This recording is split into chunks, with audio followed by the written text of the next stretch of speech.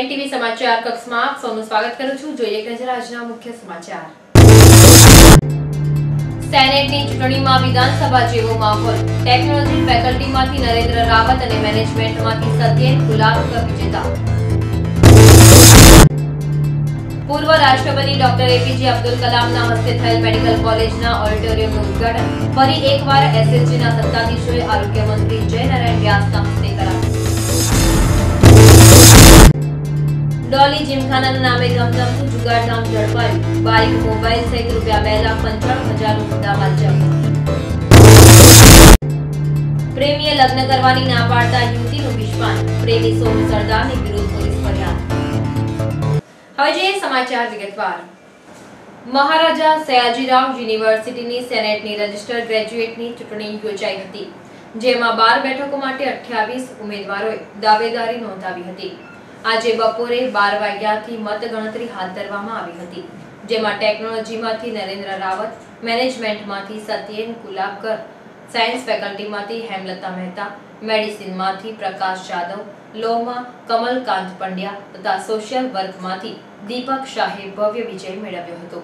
પરિણામના પગલે કહી ખુશી, કહી ગમના દ્રશ્યો સર્જાયા હતા. સયાજી હોસ્પિટલ સ્થિત મેડિકલ કોલેજના ઓડિટોરિયમનું ઉદ્ઘાટન આરોગ્ય મંત્રી જયનારાયણ વ્યાસના હસ્તે કરવામાં આવ્યું હતું. અગાઉ આ ઓડિટોરિયમનું ઉદ્ઘાટન પૂર્વ રાષ્ટ્રપતિ એપીજે અબ્દુલ કલામના હસ્તે કરવામાં આવ્યું હતું. તો આજે ફરી એકવાર તેનું ઉદ્ઘાટન કરાતા અનેક તર્ક વિતર્કો સર્જાયા છે. આ અંગે આરોગ્ય મંત્રી જય નારાયણ વ્યાસને પૂછતા તેમણે જણાવ્યું હતું કે, આ સ્થળનું ઉદ્ઘાટન મેઘાવી હસ્તીએ કરેલું છે. અને મારું સદભાગ્ય છે કે હું આજે તેમના પગલે ચાલી રહ્યો છું. પાણીગેટ વિસ્તારમાં ઉકાજીના વાડિયા ખાતે મનોરંજન ક્લબના ઓથા હેઠળ ડોલી જીમખાનામાં ચાલતા જુગારધામ પર ક્રાઇમ બ્રાન્ચે છાપો મારીને જીમખાનાના પ્રમુખ તેમજ સંચાલક સહિત ચાલીસ જુવારીઓની ધરપકડ કરી હતી.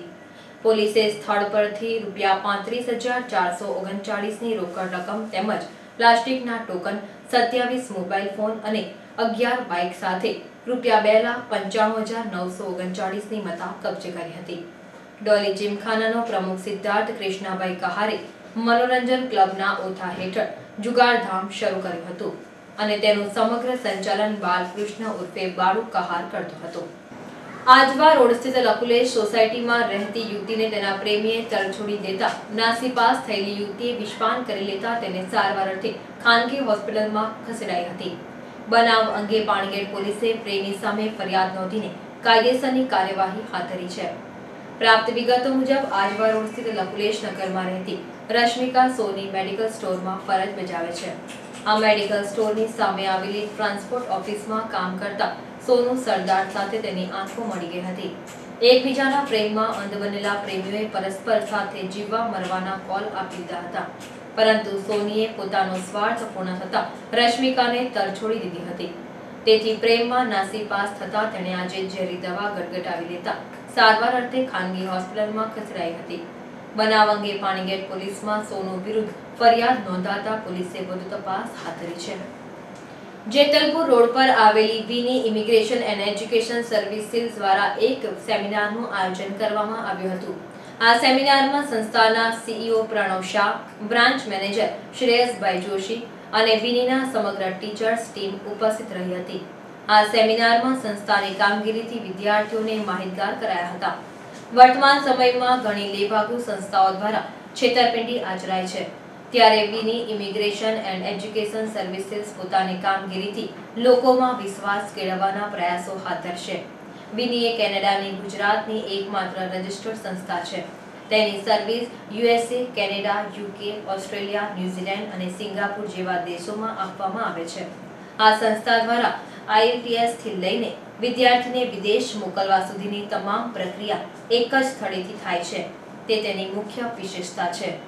વોર્ડ નંબર બે સ્થિત સવાદ કોમ્યુનિટી સેન્ટર પાછળ તંત્ર દ્વારા રેન બસેરા બનાવવાની હિલચાલના પગલે સ્થાનિક રહીશો દ્વારા તેનો વિરોધ કરવામાં આવ્યો હતો.